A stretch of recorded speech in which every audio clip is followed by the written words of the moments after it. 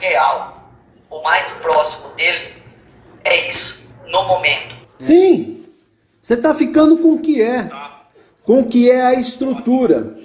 Ótimo, Você está ficando com o que é a estrutura pela qual você funciona, ótimo, sem delírio de vir a ser. ótimo, Quem quer isso? ótimo.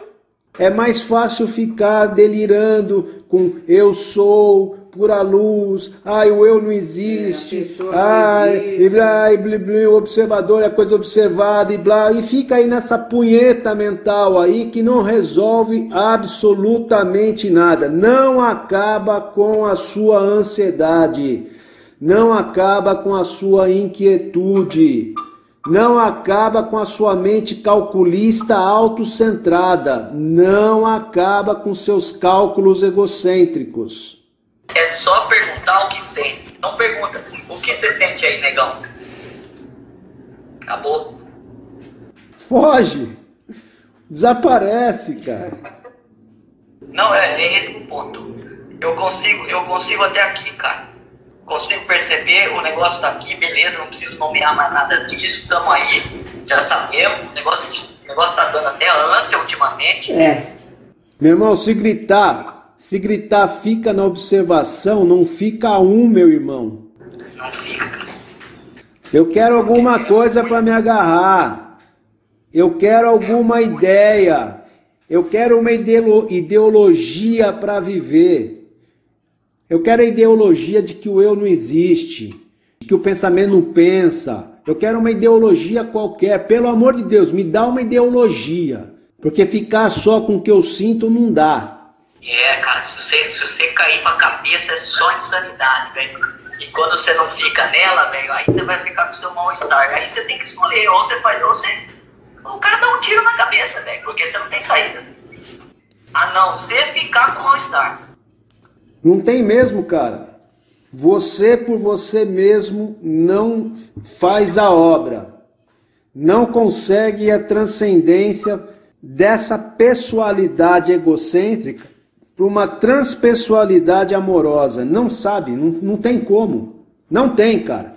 Pode ler todos os livros do mundo, pode frequentar todas as escolas esotéricas, pode estudar todos os gurus, passados e presentes, não consegue transcender a estrutura pelo esforço intelectual.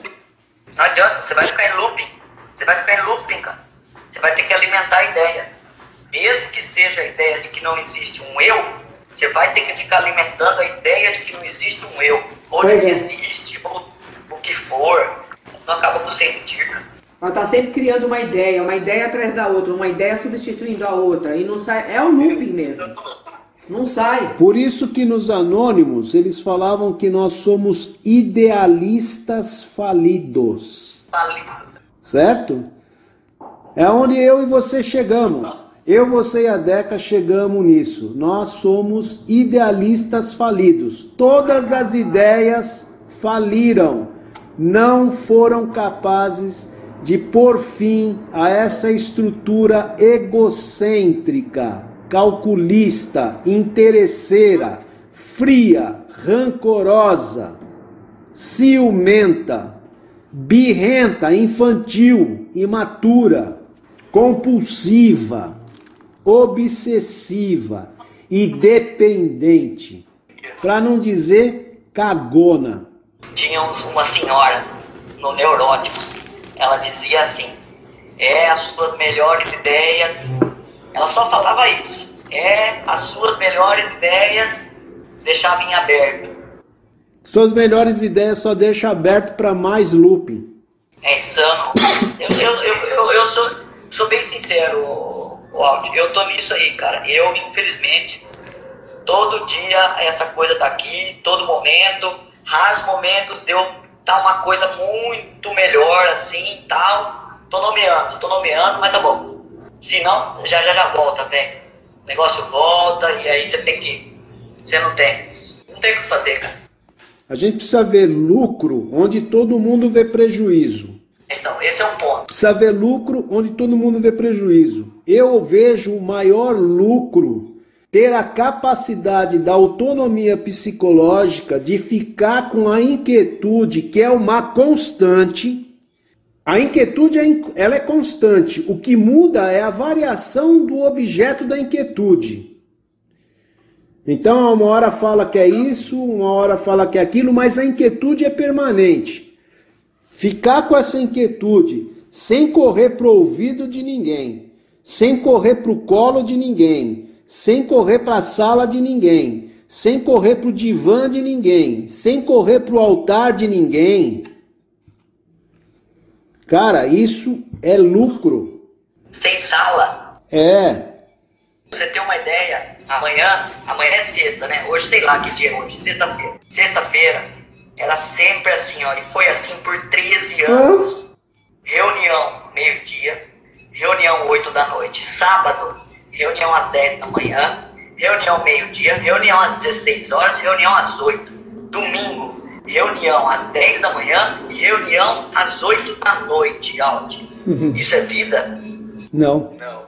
É, aqui não foi diferente. É mais próximo da vida. O que eu tenho aqui hoje é mais próximo da vida. Então eu vou ficar aqui, cara, vou sangrar nisso, entendeu? Vou sangrar nisso. Vou igual o gladiador lá, você entendeu? Pode enfiar faca, velho. E daí? O que, que, eu vou fazer? Eu não tenho. Tem saída, cara. Pela estrutura não tem. Por tudo que é da estrutura não tem. E veja bem, hein? Deus é uma ideia da estrutura. Poder superior é uma ideia da estrutura. Eu maior é uma ideia da estrutura.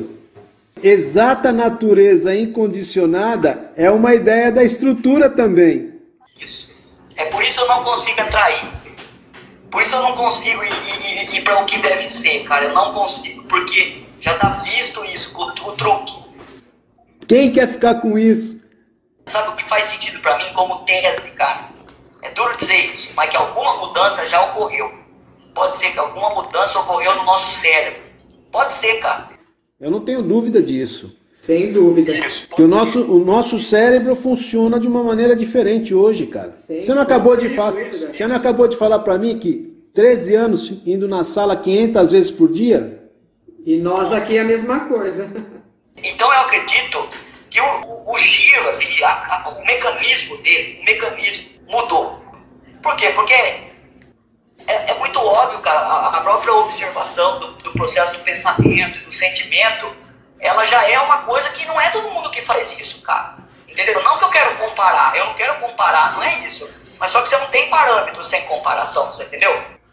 Então, mas, mas eu tenho vocês, vocês estão nisso. Então, por exemplo, estão largando os livros, estão largando um monte de coisa que. largando grupo, estão largando todas as ideias, tudo que faliu. Percebe? Então alguma mudança ocorreu. Alguma mudança ocorreu. O que isso significa? Não sei, cara. Não dá para saber, mas tem algo de concreto nisso, você entendeu?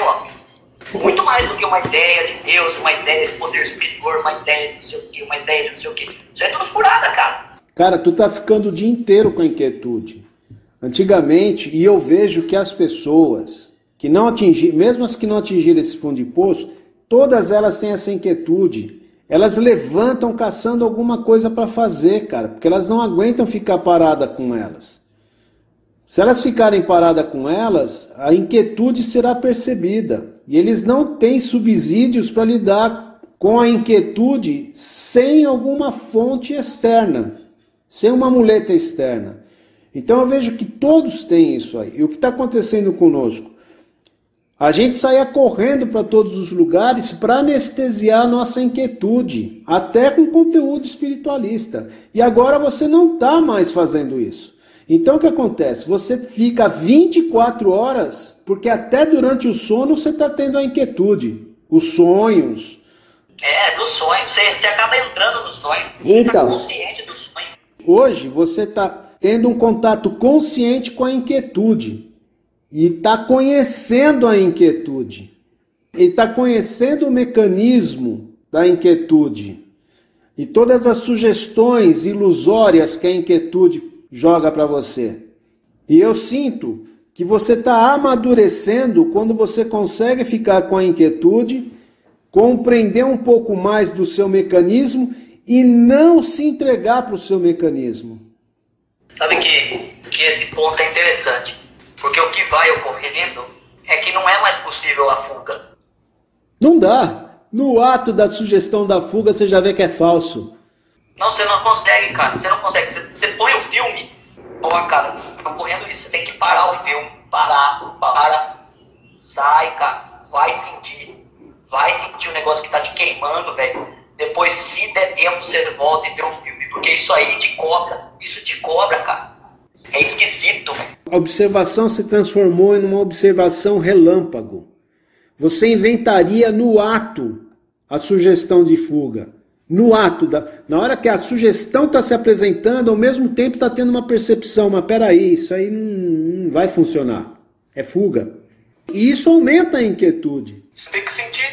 Pelo amor de Deus. Porque a estrutura está sendo contrariada. Então eu entendo que isso que é aquele lance dos cristãos. Você está morrendo a cada observação, cara. A cada observação da sugestão da estrutura e que você não cede a ela, você tá, a estrutura está morrendo. E aí ela passa a agonizar. Que é essa inquietude que a gente sente, cara. Não, não tem que falar. Eu tô nisso, cara. É isso aí. Aqui é isso, ó. Sem nenhuma firula. É, eu ia falar isso. Se você perguntar pra mim assim, cara, qual o seu objetivo hoje? Eu não tenho. Exatamente, é o que eu ia te falar agora, cara. Inevitavelmente, quando você chega nisso, você começa a questionar, porra, bicho, qual que é o real sentido de eu ter acordado hoje? Para que, que eu acordei hoje, cara? Qual o real sentido do existir? Porque não pode ser ficar caçando atividades para distrair a inquietude. Ficar pintando vasinho. Eu nem entro nesse lance de pensar, eu não entro. Porque, cara, periga, puf, você, você tá com periga, você por fim, você entendeu? Um game over. foi- Verdade. E, velho, eu fico com o que tem. Eu fico aqui, ó. O que, você, que, que você tem pra fazer hoje, velho? Eu não sei, eu não quero saber, velho. Eu não sei o que eu vou fazer, eu não tenho objetivo nenhum. Velho, arrebentou tudo. É difícil, você vê que você chega num- nesse momento, é um momento que às vezes fica até difícil de você é, comunicar aquilo que você está sentindo. É óbvio quando você acorda de manhã aí, forçosamente a vida já te põe algumas obrigações para sustentação do seu corpo, certo? Você tem que trabalhar aí para pagar o aluguel da sua casa, pagar as contas, escola de filho, quer dizer, você já tem algumas coisas que são forçosas, mas fora isso, você olha e fala assim, cara, qual que é o real sentido? Porque a vida não pode ser só isso, uma obrigação para sustentação do organismo. E aí, entendeu onde eu quero chegar? Inevitavelmente você chega nisso daí, pô. Então, qual que é o real sentido? Aí eu trabalhar e quando eu tiver tempo, descobrir alguma coisa que me dê algum prazerzinho, algum hobbyzinho, e ficar ali naquele hobbyzinho e apresentar o que eu faço com aquele hobbyzinho para outro e disputar o hobbyzinho com o outro.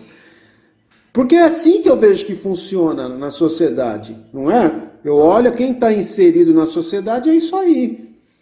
Mas para mim não faz sentido isso, entendeu, cara? O que eu quero dizer? Eu olho e falo assim: não, isso não faz sentido a vida ser só isso. A vida precisa ser algo muito além disso. Eu não avanço nesse pensamento, velho, porque me arrebenta. Me arrebenta. Entendeu? Esse é um outro passo, velho. Você entra no lance porque eu sei que é verdade. Mas eu não entro. Eu não entro nessa porta aí, você entendeu? Eu não, não vou. Por quê? Porque você eu vou criar. Então, mas aí, se a gente não vai nisso, corremos o risco daquilo que você me falou ontem. Ó, periga a gente ficar, a gente morrer que nem nossos pais. Lembra que você me falou ontem? Tá, não vou olhar para isso. Meu pai era um cara que falava, meu, eu não, não tenho condição de mexer com isso não, cara. Mexer com isso aí eu vou ficar louco. Então ele preferia manter a mente dele ocupada com um monte de coisa superficial, mas menos parar e fazer esse questionamento aí. Porra, qual que é o real sentido da existência, cara? O que é essa experiência do viver? Será que é isso aqui Será que é, é, é eu ter que fazer tudo o que foi estipulado pela sociedade? Não pode ser, cara. A ideia eu tenho. Eu, isso. A diferença é que eu não entro na ideia, mas eu também não fico nessa ideia de fazer outras coisas superficiais, entendeu? Eu concordo. Isso aí não tem como. O que, o que tem aqui, cara, é isso. É ficar com a inquietude hoje. É o que tem aqui. E é muito interessante, cara. Eu gostaria, eu gostaria de sentir como que as pessoas vão receber esse áudio, entendeu? Porque elas muitas vão ouvir o áudio porque elas não querem ficar com a inquietude.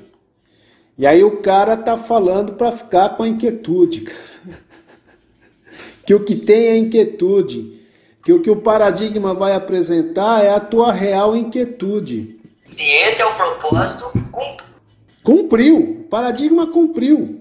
O paradigma é para deixar bem claro que você é um ser inquieto, extremamente dependente de situações externas para tentar disfarçar sua inquietude que nunca é disfarçada. É simulada, mas nunca é disfarçada, porque quem tem olhos de ver, bate o olho no teu olho e vê que você está que você tá mal. Tá bom? Quem tem olhos de ver, olha pro outro e fala, não é feliz. Simulação, né? Não ama. Não está em conexão com a vida.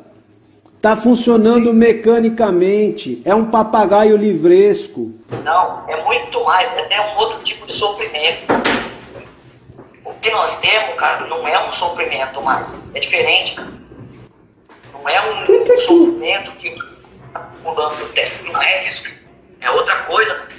Eu nunca tive ânsia, cara. O negócio me deu ânsia comigo que eu falava, meu, começou, olha, cara, tá boa, começou às 10 da manhã, era umas 11 da noite, eu falava, meu, tem fim. E não era uma coisa que eu falava, vou ter que fazer algo. Não, até que deu esse negócio de vomitar e parou. Mas é isso aí. Deu pra gente colocar umas ideias aí. Vamos ver o que, que vai dar, mas vai ter que ser revelado. Mas não pelo intelecto. Algo além do intelecto livresco tem que ocorrer. Isso faz sentido. Isso faz sentido. Não que não, não haja uma mudança no nosso cabeção, no nosso cérebro. Não que não haja. Eu acredito que